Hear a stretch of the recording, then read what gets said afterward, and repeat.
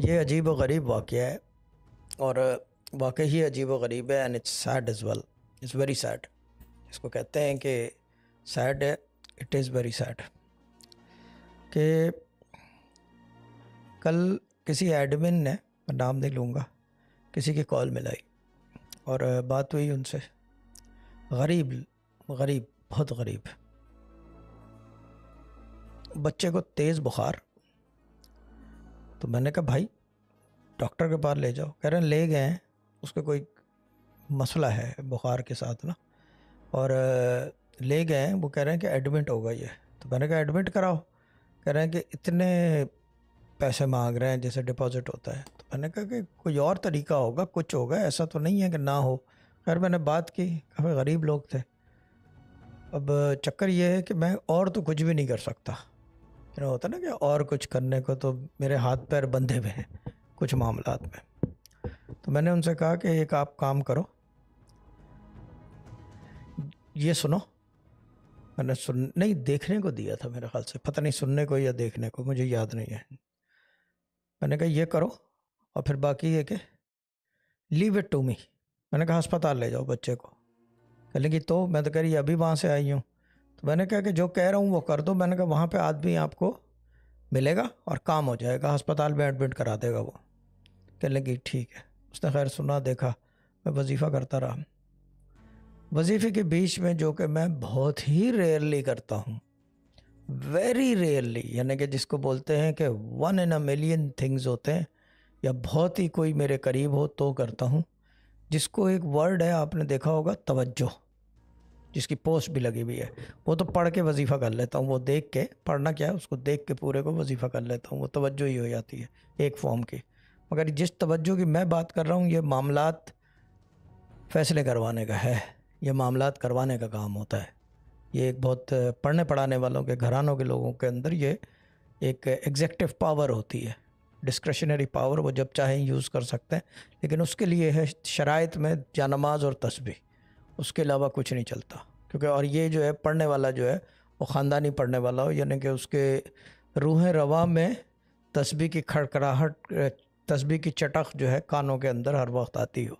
वो इस तरह का पढ़ने वाला हो। कल वालों की बात नहीं कर रहा, उनकी स्टोरी अलग है। खैर, मैं तस्बी कर रहा था। बीच में तो बोल पड़ा था। फिर मैंने तस्बी शुरू की।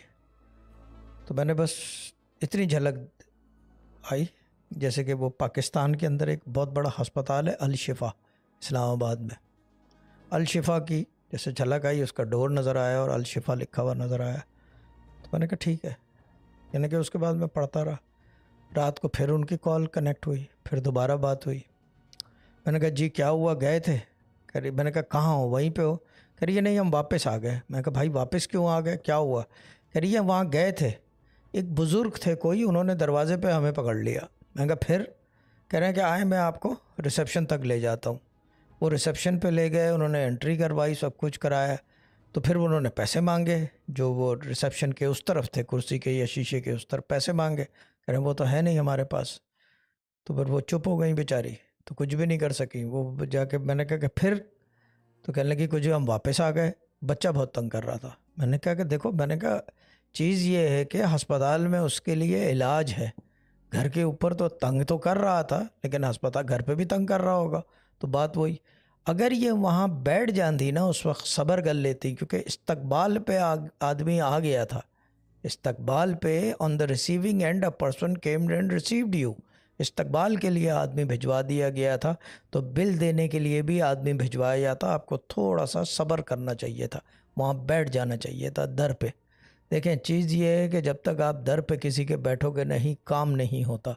यही अल्लाह की इबादत का भी असूल है कि you have to go and supplicate and do that इबादत, या ये कि गो एंड सिट इन इस दरबार, और दरबार उसका लगता है मस्जिदों में या आपके घर में जा नमाज़ के ऊपर, जो नमाज़ पढ़ते हैं आप, वो दरबार है अल्लाह ताला का।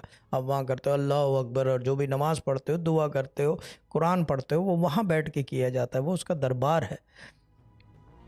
आपको उस अस्पताल के दर दर पे बैठ जाना चाहिए था, वहाँ का दरबारी बन के बैठ जाना चाहिए था और इंतज़ार करना चाहिए था। अगर ये इंतज़ार कर लेती, जब जब इस्तकबाल करने आदमी आ गया, रास्ता दिखाने वाला आदमी आ गया था तो अंदर करवाने वाला भी आदमी आता। थोड़ा सा सब्र वाला काम था। ये काम, यानी कि put it this way, this is why I don't do it, because people don't understand the the philosophical या द मैथोलॉजिकल रीजनिंग और द प्रोसेस बिहाइंड इट जब आपको भेज दिया ना एक जगह, मैं होता तो दो दिन तक वहाँ बैठा रहता। नाश्ते का भी बंदोबस्त होता मेरे, खाने का भी बंदोबस्त होता, सब चीज़ों का बंदोबस्त होता क्योंकि भेजे हुए आदमी थे। और ये बहुत कम मैं करता हूँ सिर्फ़ बच्चे की वजह से, लेकिन अभी पता नहीं है अभी तो खैर बुखार कम है, डॉक्टर के पास लेके गई हैं शाम में।